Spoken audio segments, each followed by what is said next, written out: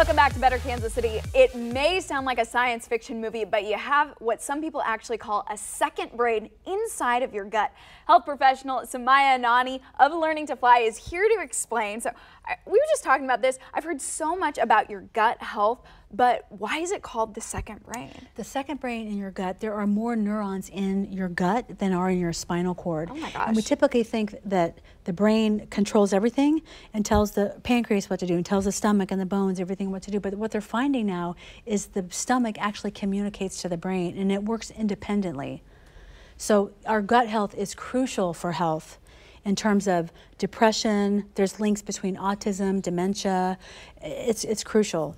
Oh my gosh, okay. And what all is actually considered in the second brain? Because with all those neurons flying around, I mean, we got to know right. exactly what it is. It's mostly the digestive system. So you look at the digestive system, it's involved with digestion, absorption, assimilation.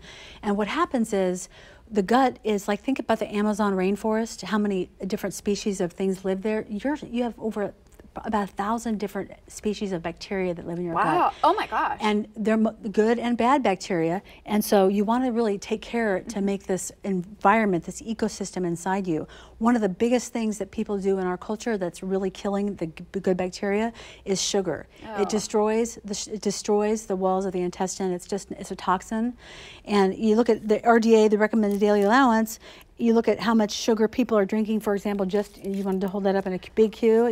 Look drink, at this, like, I mean, it's it goes off like the charts. The so that's more than a recommended dose for a man. Mm -hmm. Things like antibiotics, you know, anti means against, biotic means life, against life. So when you take an antibiotic, you're killing bacteria, which is good when you have a bad bacteria, but it's also killing all the good bacteria. So when you want to, when you, if you're on antibiotics, you want to also be on probiotics. Pro is for, Biotic means life. And this is reseeding your gut with all of this good stuff that we need. So let's say we wanted more of the probiotics that you're talking about, right? Um, I, I, was telling you I take like uh, collagen that I, I, throw into my coffee. Sometimes it probably be better in a smoothie because it tastes a little chalky. But you know, there are things like that. You know, what should we be looking for on the label to help really strengthen that nutrition. Yeah, probiotics can be taken in a pill and they're you want to get one with at least 10 strains. This products here, E3 Live, it's got chlorophyll, spirulina, blue-green algae. You hear about the superfoods all the time.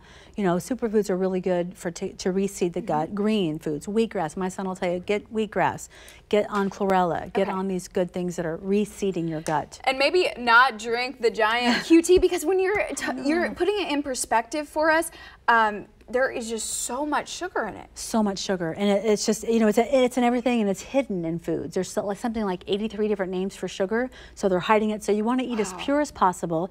You want to get your probiotics. You want to eat more plants.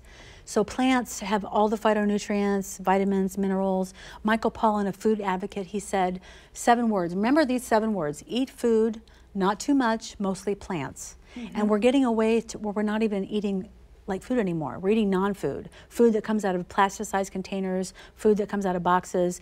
If it's made in a plant, try not to eat it. If it is a plant, eat it. That's what okay. he says. Well, eat things out of the dirt. That makes so much sense. And then is there anything that you really recommend to help like nourish that second brain? Well, you know, massage, qigong, yoga are, are techniques that actually you're massaging your belly organs. That's great. You know, um, definitely get on probiotics, exercise, moving this, the circulation and, you know, all that.